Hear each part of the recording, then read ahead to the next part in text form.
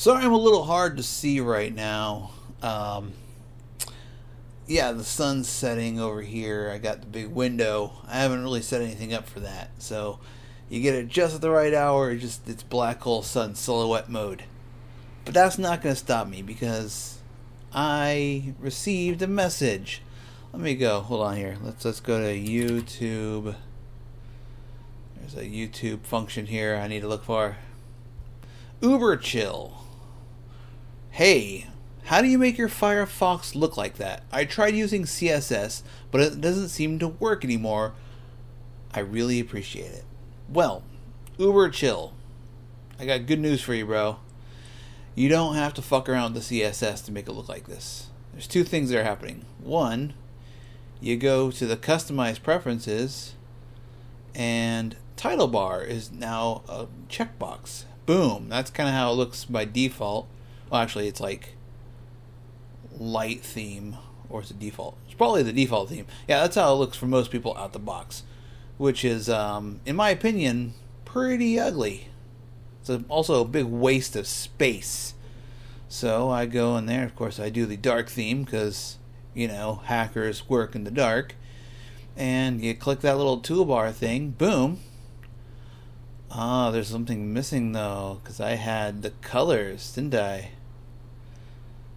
Done. I'm gonna save that for now, but that's how you get there. But then there was the, I think it's Firefox colors. So I think it's a Ah, yes, theming experiment, colors.firefox.com. You go in there and you can find people's beautiful themes. I think I was running. Oh no, it went back. It was this one. Yeah, like that. There's some purple ones. Look at that. How great is that? You can really customize your shit this way. Actually, that's not bad either. I, I kind of like that. It's kind of a yeah, you get the dark one. Ah, there we go. That's, that's kind of my style. But yeah, basically, a lot of the features you're looking for, as long as you're running the newest version of Quantum, which I think I'm running. Um, oh, I have a new version. Let's let's find out together what happens when I run the new version button. Are you ready for this? Ooh, I'm scared. I'm scared. And it's dead. It's never gonna load. Oh, there it goes. Seems to be pulling in my theme again. All my settings are the same. Yeah, we're good to go. So make sure you uh, update your Firefox to the newest build, of course, because 6.202 it kind of defaulted there a little bit. Let's just click on that one there.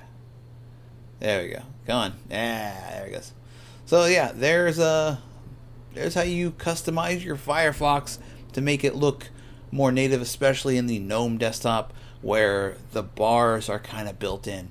Ooh, that is that is creepy dark right there. I'm very dark. So on that note, I'm going to bail. Peace, kids. See you on the flip side.